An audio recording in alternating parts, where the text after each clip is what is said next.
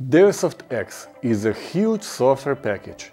More than 20 years of close work with top engineers in aerospace, industrial and automotive labs all around the world resulted in software which is much wider in functionality than we ever imagined.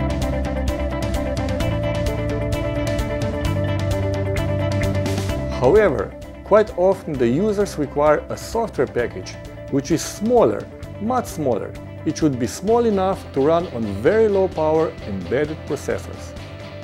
If the personal computer was a driver of technology in 90s, embedded devices like mobile phones were the driving force of technology in the last years.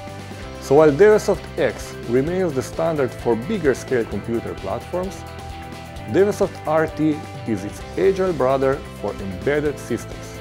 Dewesoft RT is implemented in practically all new Dewesoft platforms, like SIRIUS XHS or IOLITE LX. It can run on ARM or Intel processor architecture.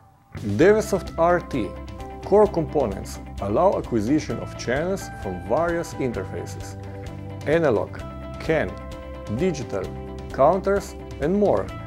The data can be stored on embedded storage devices, which makes it a standalone data logger. The data can be sent to Dewesoft X or other data acquisition software by using standard protocols such as OPC UA or XCP. Since it has internal memory, it can retransmit the data if connection is lost. It can also perform real-time operations such as PID loops, alarms, and complex control algorithms. With Dewesoft RT, we are entering a new era of software integration with our devices. What you see is just the start.